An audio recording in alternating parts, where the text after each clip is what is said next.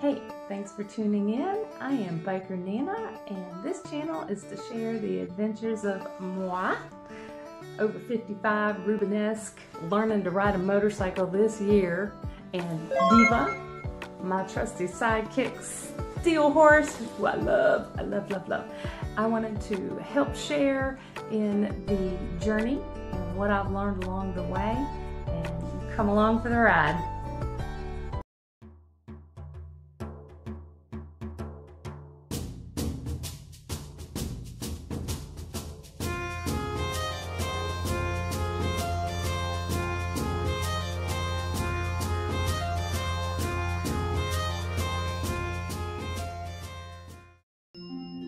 Hey y'all, so I'm getting ready to leave Lenoir and go back to Raleigh.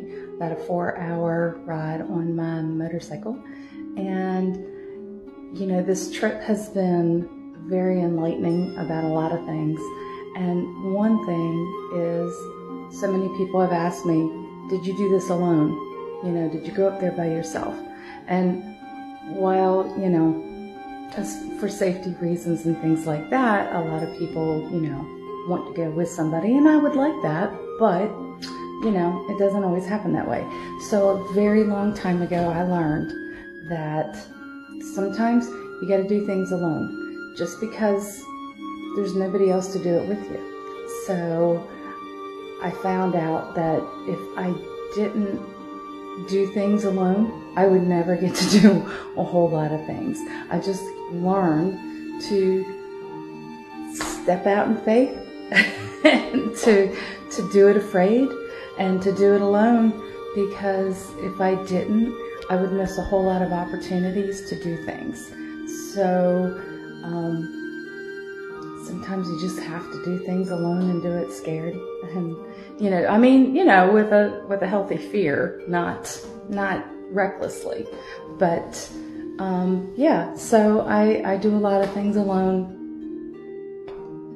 I could say not by choice but it is by choice. Um, because i'm not going to wait till i have somebody to do things with or else i may never do anything and i wouldn't do half the things that i have done in my life if i waited for people.